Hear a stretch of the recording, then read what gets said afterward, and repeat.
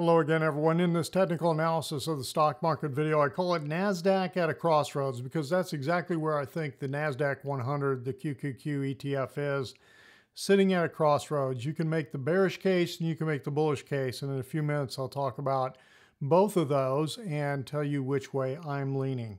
We're also going to take a look at a brief look at XLK as we look at these charts. And then I want to look at two uh, Stocks that are electric vehicle related, QuantumScape, QS ticker symbol, which is a uh, solid state lithium battery manufacturer, and uh, Xpeng Incorporated, which is an electric vehicle uh, company out of China.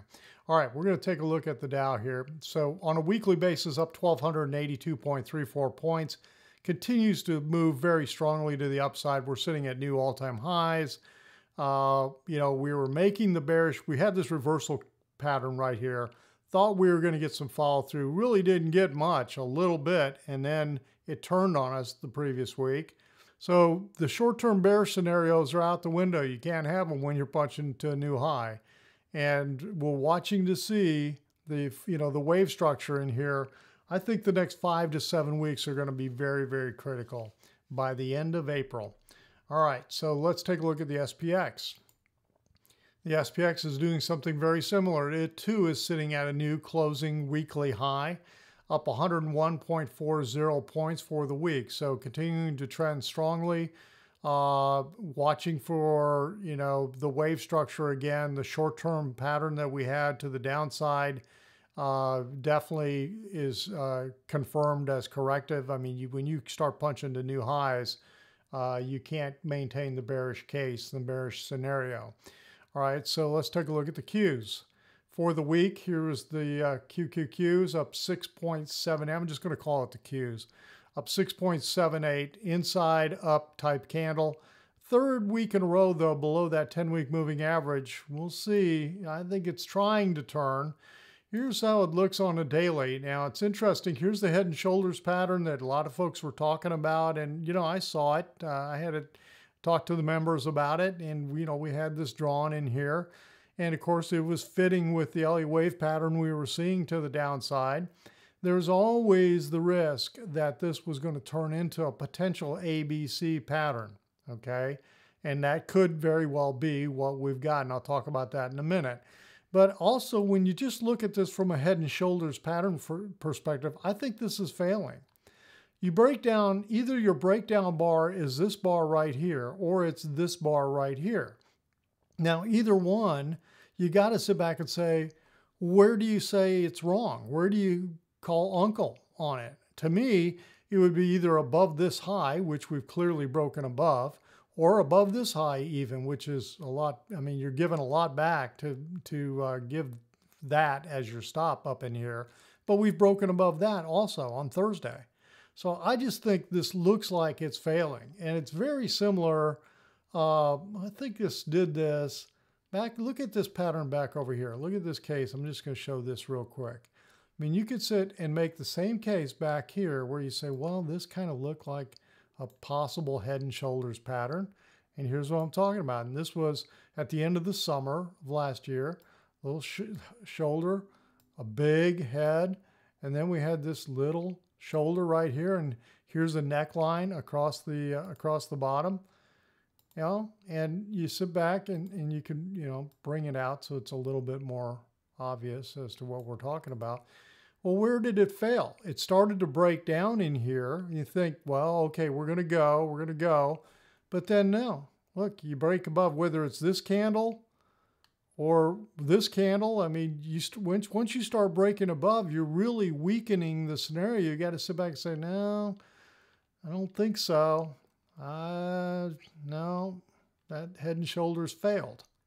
Okay, well, it seems to be the same kind of thing happening. Now, here was the bearish scenario, or here is the bearish scenario that says, you know, we were in a fifth intermediate wave that looked like we hit the peak on uh, February 16th. We were looking for five waves, thought we had them. We were looking for an initial five wave move down here, thought we had that too. And you can make the case that it's either five waves or it's an ABC. And I'll show you that in a minute. But now what I think is happening in here is this pullback. This move, this first leg up, was five waves, this A wave. And that's why I think we're in a zigzag eh, from a bearish standpoint. You know, it still could be the case that we have a corrective wave two pullback going on and we pull back up to this trend line that we smashed down through. So that could still very well be the case that that's what's happening. And here's the, the uh, short-term pattern in here, okay? But you can also make the case that says, yeah, this looks like more like a three-wave move. Let me go to that scenario. And that from this low back here in September, that we had wave one, two, strong wave three, a zigzag wave four, and now we're off and trying to get going in a wave, a wave five. That this was the end of the corrective pattern. Now these look very similar. Normally you're looking for them to alternate. They don't have to. It's not an Elliott wave rule. It does. There's a, it's a guideline. It says you look for corrective patterns to alternate. Okay. Well, it didn't, at least in this scenario.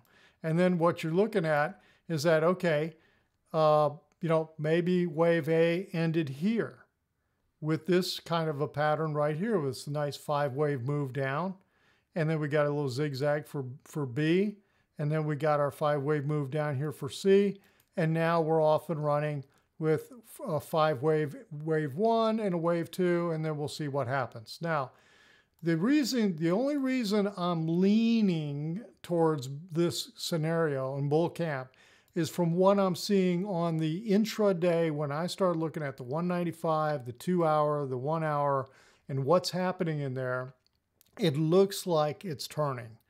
And that I'm seeing it on numerous other technology related stocks.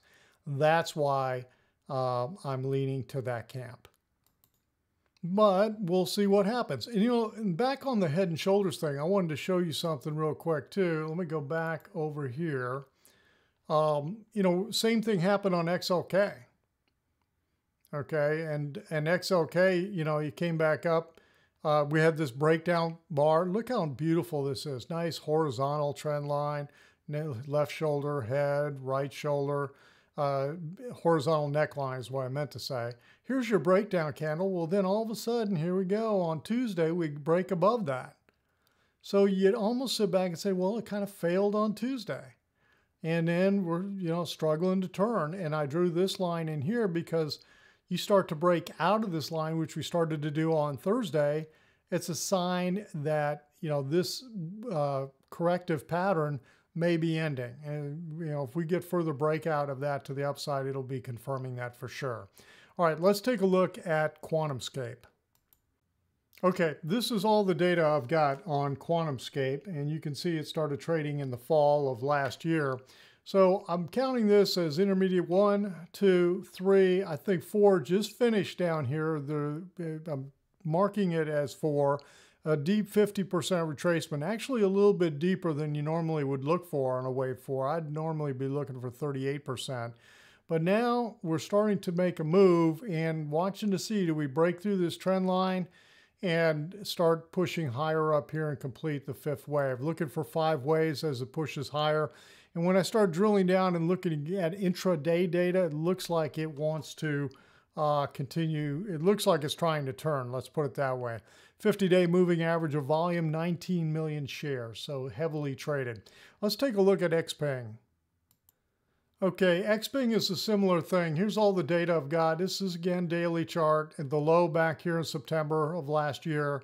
I think we had a very strong uh, five wave move up for, I'm calling it intermediate wave one. You could almost call it, uh, you know, primary wave one because it was so, so big uh, but uh, it's six one, half dozen of the other. Right now, here's the wave two pullback, which got very deep, a little bit greater than 61.8% of the first wave. And here, a big, strong zigzag move to the downside. Now I'm watching for this to keep pushing up here. I'd like to see it break this trend line and keep going. Now, what am I doing with this? These dotted lines this is creating like a base channel for wave uh, you know, from the origin to wave two, projecting from wave one. If there's intermediate wave three is truly underway, it should break above and break out of this base channel. But first things first, sometimes you can get a little choppy in the beginning. So we'll see, watching for five waves in here, would like to see this continue to push up and break this trend line right here. The average daily volume here is 25 million shares a day, so heavily traded on Xpeng. All right, that's it for this video. If you felt like the video was helpful, uh, give it the thumbs up. And if you're not a subscriber to the channel, hit that little subscriber button. And if you'd like more of this kind of information, we talk about this type of thing every day over on the website, joehentges.net. Check out the website and the membership. Everyone, have a great weekend. We'll talk to you on the next video.